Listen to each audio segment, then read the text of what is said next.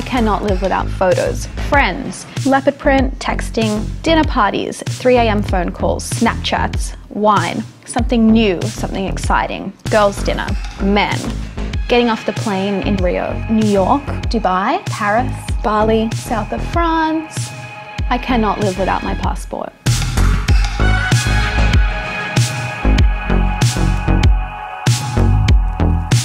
My name is Alexandra Spencer. I take photos and I design and I style and I creative direct and I am a model and I am a blogger. I started the blog four years ago and it really is just about like what I like, what I'm into and travel is sort of everything to me. I think that's really like a lot of my makeup creatively and personally.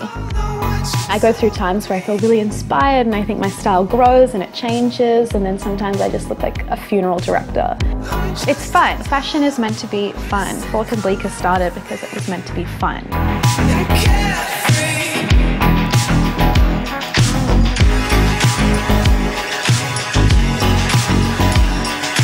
I wanted to make a collection that you could throw in a suitcase and sort of whip out and have everything you needed, perfect for the south of France.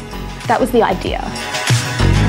There's lots of low-cut tops that look like you're ready for open heart surgery and it really is such a true reflection of me, in this collection, because I'm a beach girl at heart. It is how I go to the beach. I do wear leopard to the beach. Billabong's bringing the beach to me and I'm bringing, you know, the city to Billabong.